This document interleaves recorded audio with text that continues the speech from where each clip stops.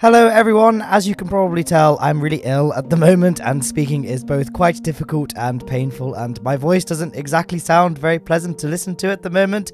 So, unfortunately, I've decided to not make a space news update video this week in order to not strain my vocal cords, and of course, produce a video that to my ear sounds a bit unpleasant to listen to. I can still do a very brief summary though. Last week was special because we had three Falcon 9 launches Cosmos, SkyMed, NROL 87, and Starlink. The NROL 87 mission was particularly great because SpaceX captured some amazing drone footage of the launch and landing. Sadly, the actual video quality isn't great because they only posted this on Twitter, which has horrible video compression, but it's still very cool nonetheless. We also had some fantastic footage of the first stage separation on the Cosmos SkyMed launch. Tracking cameras caught the moment of main engine cutoff, stage separation, and the Falcon 9 first stage flip maneuver. Fantastic stuff there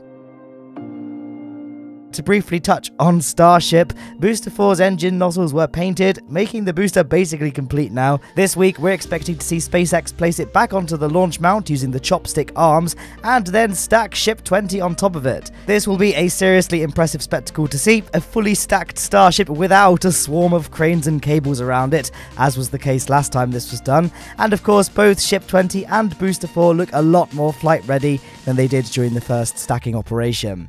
This is all in preparation for Thursday, which is going to be a huge day for Starship fans, as Elon Musk has confirmed that there will be another Starship presentation on this day, where hopefully we'll learn lots of new things about the rocket and SpaceX's ambitions. Anyway, I've just about exhausted my vocal strength. Again, apologies, this wasn't really a proper Space This Week episode, but I gotta play with the cards I'm dealt.